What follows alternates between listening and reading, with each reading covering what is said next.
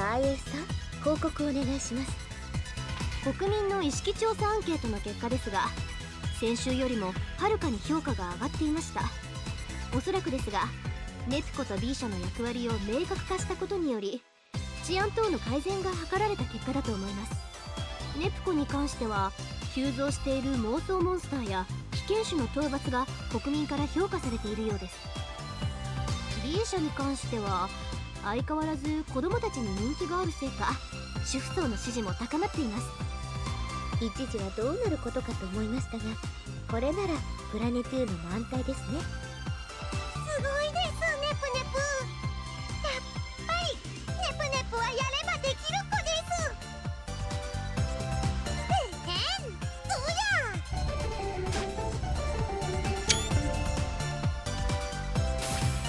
や。ですがその反面2人の良くない噂やデマもネットを中心に出回っていることも事実です。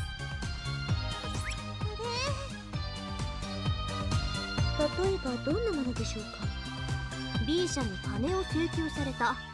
ネプテューヌはいつも遊んでばかりで仕事していない。平日の昼間に2人でおもちゃ屋で買い物をしていた。などです。ある意味事実ですね。ちなみにこれはどこからですか？ネット掲示板の N チャンネルで最も多く見かけた書き込みです。ですがそのせいもあってアット将軍のまとめサイトなどの有名ブログにも取り上げられています。もう失礼しちゃうよね。たまたまあの日は休みだったから B 社と遊びに出かけただけだったのに。けどどうして教会の中でのネプコのことまでまとめられてるのかしら？てかさこの「あった将軍のまとめサイト」ってやつ？記事のまとめ方に悪意がありすぎるんだってば。見てよ。ネガティブな噂が必ず記事の最後に来るように順番を変えてるんだよ。こういう記事の最後のコメントって書き手側が意図しなくても読み手側は記事の結論として受け取るって前にベールが言ってたもん。確かに。言われてみればそうかもです。このサイトの管理に私に恨みある人がやってるよもしかして身に覚えがあるんですかそりゃあこれだけキュートでチャーミングでとっても強い私に嫉妬してる女の子に決まってるよあもしかしたら私が高嶺の花すぎて近寄りがたいから失脚したところをアプローチしようと考えてる男の人だったりしていやーこれだから。人気者は困るな。理由はどうであれこの問題はどうにかしなくてはいけませんね。プラネテューヌだけでなく他の国でも同様にゴールドサードと女神様たちの悪い情報ばかり記事にされてますし。質の悪いゴシップ誌みたいね。となるとうかうか外出もできないよね。プラネティウムのためにしばらく部屋に引きこもります。どうすればそういった考えに行き着くのでしょうか。まあネプコですし。よーしコンパ私の部屋で一緒にゲームしよう。ネプギアが修理してくれた渦巻きマークのゲーム機に対応したゲームソフト見つけてきたんだくきっかけになったあのゲーム機ですか？そうそう。あれ以来ゼロ次元には行けなくなったけどゲーム機としては遊べるみたいなんだ。渦巻きマークのゲーム機でござるか？将軍のブログネタ集めに忍び込んだつもりでござったがまさか例のゲーム機が何かまで判明するとは。早速盗み出す。まずは将軍に報告でござった。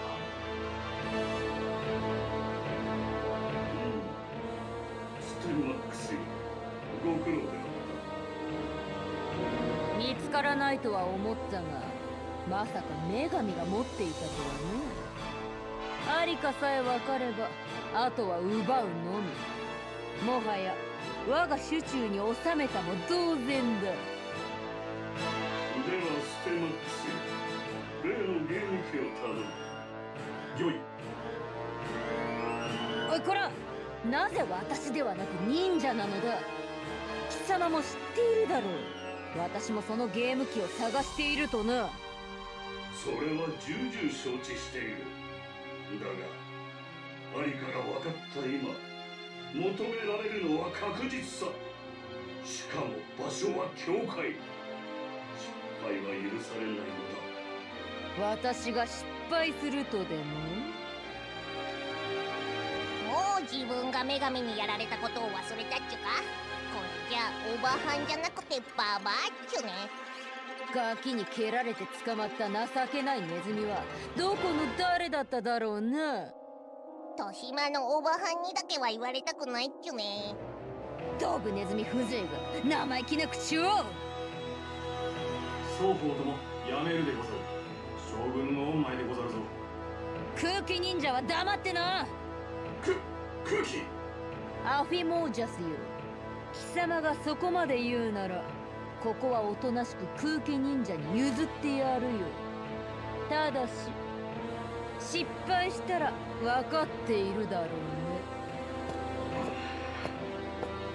まったく自分勝手なやつっちゅ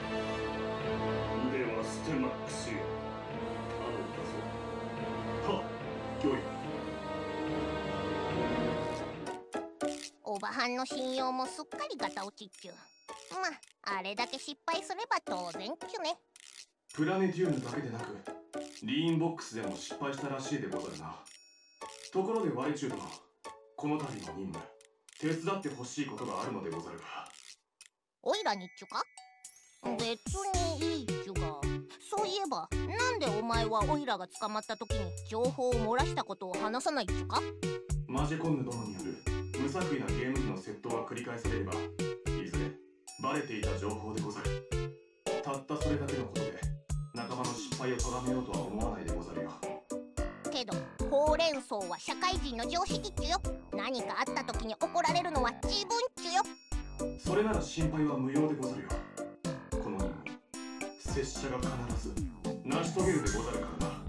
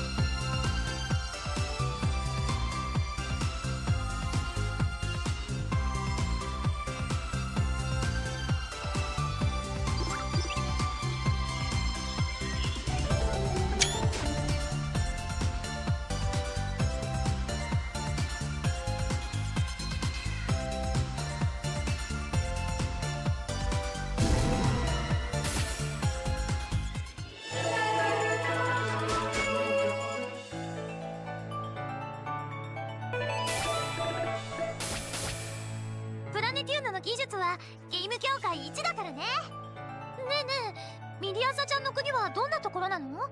ブリテンだっけ？ああ魔法の力が豊富な島国だ。この国ほど科学技術は発展していないがな。今祖国は内乱に加え海を隔てた向こうにある別大陸の外敵から侵略を受けているのだ。なんか思った以上に大変なことになってるんだ。国内では派閥同士の争いだけでなくエクスカリバーによって王の器を測る体制に対する反発から。ねえまたそうやってブリテン用語ばかり話してるとネプテューヌが混乱するんじゃない？いやいや私の特快力を舐めてもらっちゃ困るよ。フューリーから妖精をパージして塔がバルスってことだよね。ほら見なさい。ああすまないそうだな。わかりやすく言うならばとにかくそこら辺を歩いていると半裸の女が出てくる。それがブリテンだ。誤解を招くような言い方をしないでちょうだい。そういえばちいかまちゃんも露出度高いしブリテンってば R18 のアイランドなの？ち違うブリテンはそんなエクスタシスな場所じゃないわよそうかしかし一国の守護を司る女神がところ構わず半裸で戦っているのだからここも大して違いはないな。そこそこ長いシリーズの中でもあえて今まで触れてなかったところを。私もうすうす気づいてはいたけどこの世界ではレオタードが普通なんだと思い込んでたけどやっぱり突っ込んでもよかったんだ。まあ別にそれでも良いではないか。露出が高ければ私もみんなも喜ぶそれがジャスティストレインネプテューヌだ。何それ。意味はよくわかんないけど氷季節されると妙な説得力を感じるよ。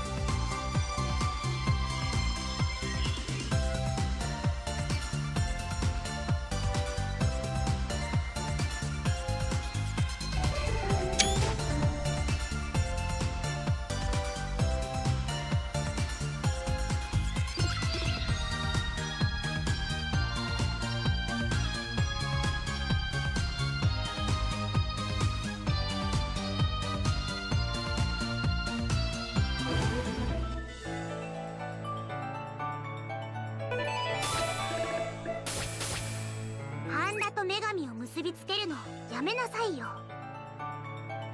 どうしてって私は生まれた時から女神だよ。なんと赤子の頃からあのようなピチピチスーツを。うーん赤子っていうか私は物心ついた時から今と同じ見た目だったような。でもネプギアはちょっと小さかったような私たちは国のみんなの信仰心シアエネルギーの力で生み出されてるから普通の人とはちょっと違うんだよね。ふむ女神とは資質を問われるのではなく女神という存在そのものなのかな。あそれじゃあ逆に質問なんだけどミリオソちゃんはいつからアーサーやってるの？生まれながらにしてと言いたいところだがアーサー王候補になったのはこのエクスカリバーを抜いてからだ。これはただの武器ではない。王の器を持つ者を選別するための剣なのだ。簡単に言うとこの剣がこう地面や岩に刺さっているとして見事抜くことができた者だけが王になるための資格を得られる。というものだ。おお勇者の剣みたいな感じなんだね。だがエクスカリバーに選ばれず反乱分子となった者たちもいる。3人いや違った。11人の支配者と呼ばれる者たちだ。